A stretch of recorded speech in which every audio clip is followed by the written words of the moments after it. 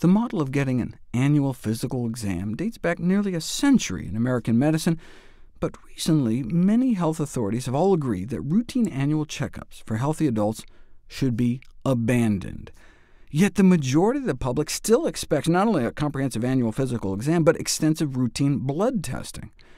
Given the gap between patients' enthusiasm and the new guidelines' skepticism about annual physicals, uh, what are physicians to do? Well, first, we must educate patients about preventive practices of proven versus unproven benefit. Uh, for example, the only routine blood test currently recommended by the USPSTF, the official preventive medicine guideline-setting body, is cholesterol.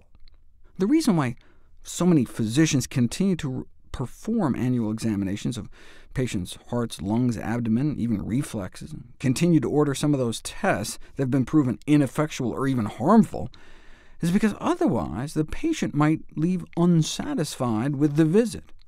Evidence suggests that the more physical and laboratory examinations they perform, the better patients feel. So they're like placebo maneuvers.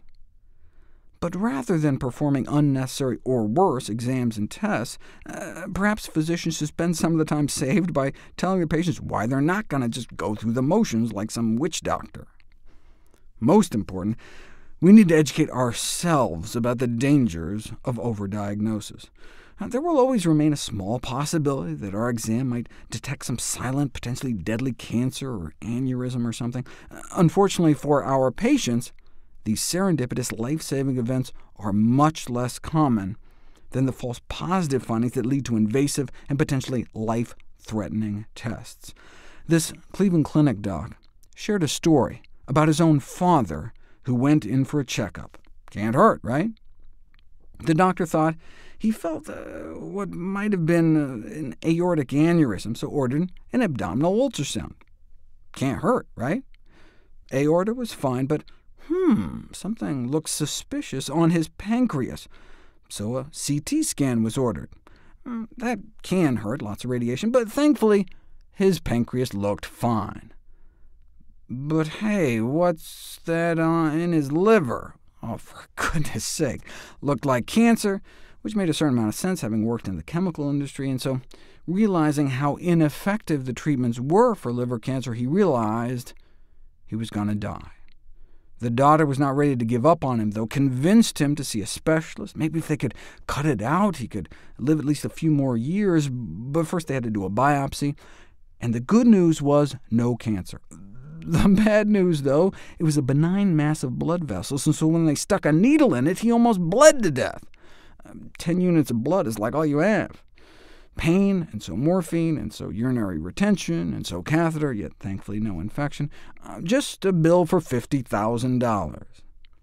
The frustrating thing is that the whole horrible sequence wasn't like malpractice or everything. Every step logically led to the next.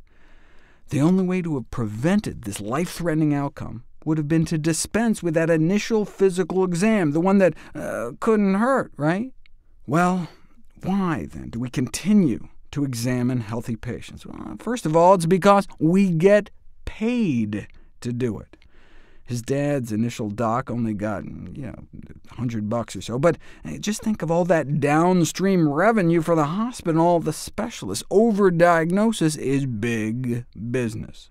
Yes, too many patients bear the costs and harms of unneeded tests and procedures, but without annual checkups, we doctors would miss out on all those opportunities for open communication and interpersonal continuity, to which one physician replied, Look, if you've deluded yourself into thinking you're doing more good than harm, if you want communication, uh, why not just take your patients out to lunch or something? Of course, such lunches should fairly and ethically be preceded by an informed consent discussion that allows prospective diners to understand the risk that they may be patronized to and may well receive unnecessary and injurious interventions as a consequence of that grilled cheese and soup. Particularly, I would add, if you're feeding your patients grilled cheese, having already chalked up your first such unnecessary and injurious act.